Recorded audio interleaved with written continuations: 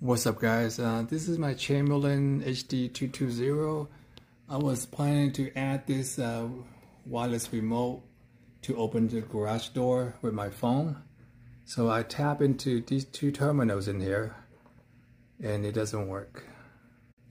These are actually 12 volts. It's not like the other kind of garage door opener where the two wire come together and when you touch each other and open and close the garage door.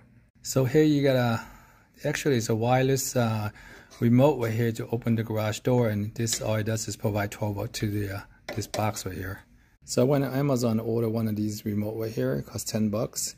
And basically it's the same as one of these right here. Inside the circuit board look like this right here. This one on off uh, 12 volts, but this one went off a 9 volt battery or button batteries.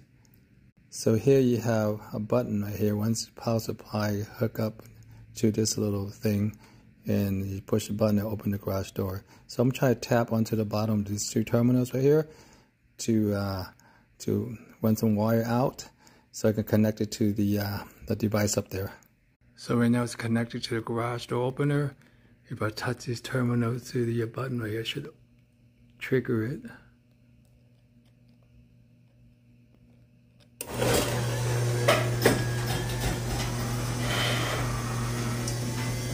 So what I'm try to do is like uh, I got these are two wire coming out from this control unit right here.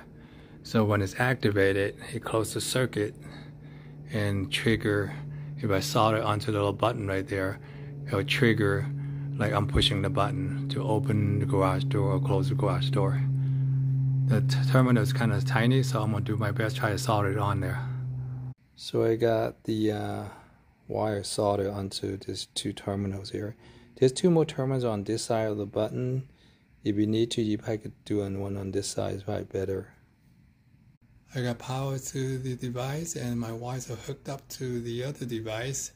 We're going to test it.